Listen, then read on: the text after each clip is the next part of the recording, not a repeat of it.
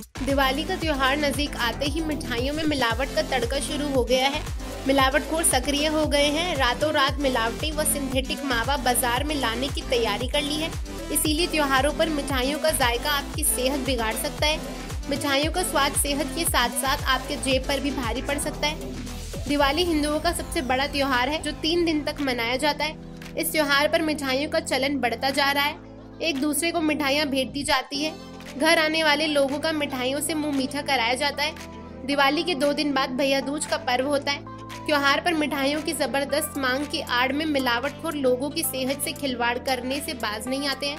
मुनाफे के चक्कर में मिलावटी व सिंथेटिक मावा त्योहार पर खपा देते हैं। सबसे अधिक मिलावट यहाँ गुलाब जामुन व सफ़ेद रसगुल्ला और कलर लगी मिठाइयों में की जाती है। सोन पापड़ी में मिलावट होती है। अन्य प्रकार की मिठाइयों में भी मिलावट का खेल चलता है।